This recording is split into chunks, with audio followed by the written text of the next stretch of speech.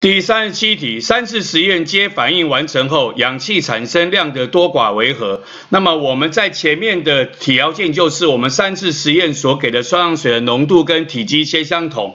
我们的反应可能有快有慢，但是我们有多少的双氧水就会产生多少的氧气。三次实验的双氧水的浓度跟体积皆相同，表示我们原来有的双氧水的量都相同，因此它完全反应后能够产生的氧气量也是会一样的。因因此，第三十七题问我们说，氧气产生量的多寡为何？我们答案选的是 C，甲等于乙等于丙。